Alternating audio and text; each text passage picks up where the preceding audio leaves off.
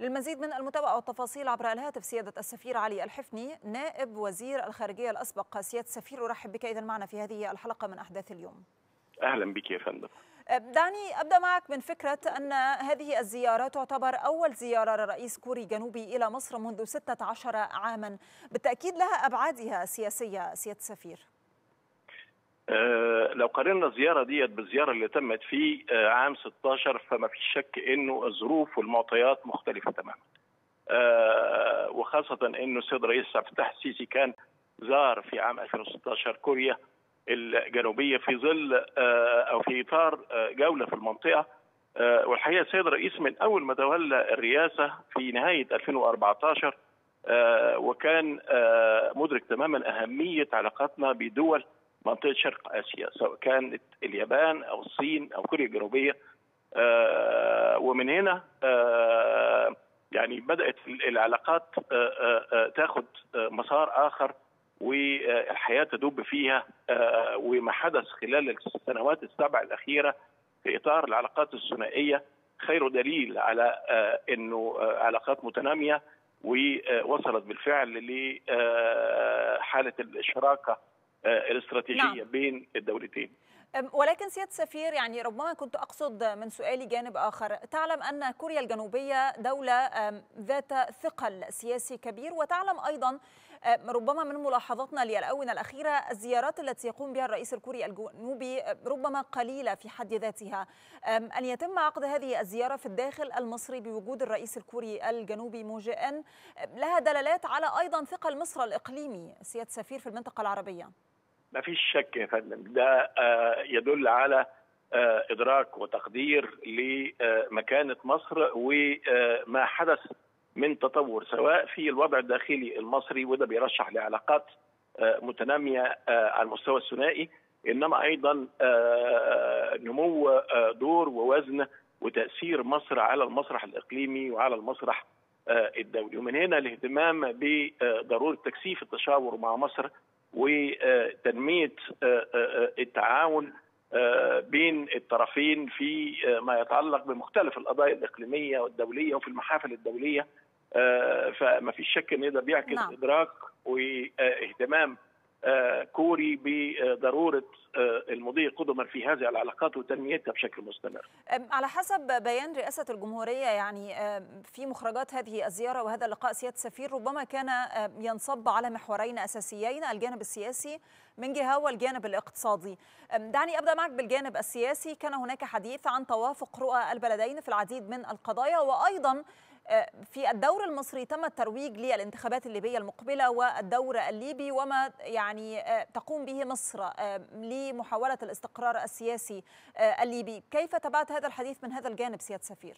الوضع في ليبيا مهم جدا بالنسبة لمصر، بيتعلق بالأمن القومي المصري والأمن القومي العربي، وبالتالي هناك اهتمام بوضع هذا الموضوع على أجندة المباحثات بين الرئيسين علما بأنه لكوريا الجنوبية استثمارات كثيرة ومصالح كثيرة في منطقة الشمال الأفريقي في الشرق الأوسط في منطقة الخليج حتى في القارة الأفريقية. أنا عايز أنوه لحاجه مهمة جدا. فضل إنه فيما يتعلق بتعاوننا مع الصين لأول مرة بيحدث تعاون ثلاثي بنقل تكنولوجيا إنتاج اللقاحات في مصر بالشكل اللي مش بس يخدم على السوق المحلية إنما يسمح بالتصدير للدول الأفريقية. أيضا هذه المرة الجانب المصري كان حريص إنه يضع على أجندة المباحثات ضرورة تكثيف التعاون بين الشركات المصرية والشركات الكورية بما يحقق دعم الأشقاء في أفريقيا في في في أفريقيا في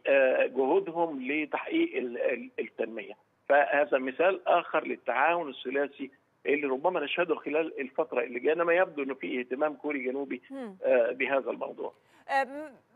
أبعاد هذا الموضوع تحديدا فكرة تصنيع اللقاحات وتصديرها سيادة السفير. والحقيقة الدور المحوري الذي لعبته مصر في المنطقة أثناء تحديدا جائحة كورونا ومساعدتها للأشقاء العرب وأيضا للمجتمع الدولي.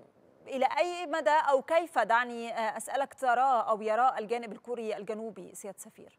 مصر مهتمة بتنمية علاقاتها بالدول الأفريقية وهكذا أيضا كوريا الجنوبية.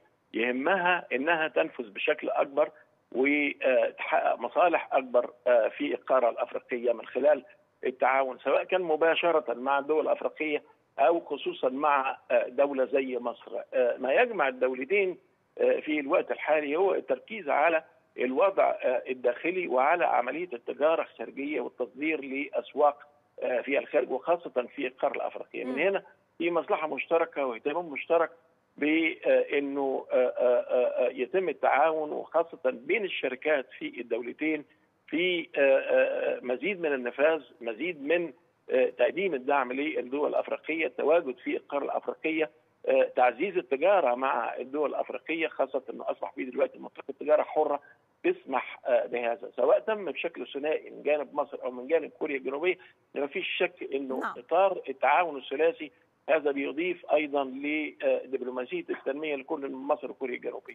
كونك تطرقت للجانب الاقتصادي أيضا في مخرجات هذه الزيارة سيادة السفير دعني أسألك هنا يعني كان الحديث منصب على أن مصر بشكل أو بآخر أصبحت الآن حاضنة للاستثمارات أو جاذبة إذا صح القول للاستثمارات من المجتمع الدولي. وكان ذلك أيضا حديث من جانب الرئيس الكوري الجنوبي اليوم. كيف يمكن اذا في سياق هذه الزيارة تعزيز الاستثمارات البينية بين مصر وكوريا الجنوبية؟ شوف يا فندم أنا استرعى انتباهي التأكيد على استعداد مصر إنها تقدم التسهيلات للمستثمرين صحيح. والشركات الكورية العاملة في مصر. وهحط تحت التسهيلات ديت 10 خطوط. إحنا ما بنتعاونش مع أي دولة. إحنا بنتعاون مع دولة مش بس أصبحت دولة من الاقتصاديات الناشئة إنما من أكبر الاقتصاديات على مستوى العالم في مجالات على, على أقل تقدير مجالات محددة.